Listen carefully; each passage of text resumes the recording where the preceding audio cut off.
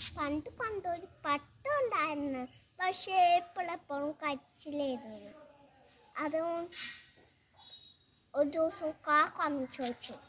ഹേ പട്ടം നീ എന്തിനാണ് എപ്പോഴും കരിയണേ എന്റെ ചെങ്ങാതി കണ്ടില്ല? നീ കുട്ടി ആ കുട്ടീനെ കണ്ടില്ല? അവന്റെ താണ് എന്റെ നൂൽ. അത്രയുള്ളോ? എന്റെ കൊടകൊണ്ട് ഞാൻ മുറിച്ചരാ? കൊക്കൊണ്ട്. കൊക്കൊണ്ട് ഞാൻ മുറിച്ചരാ?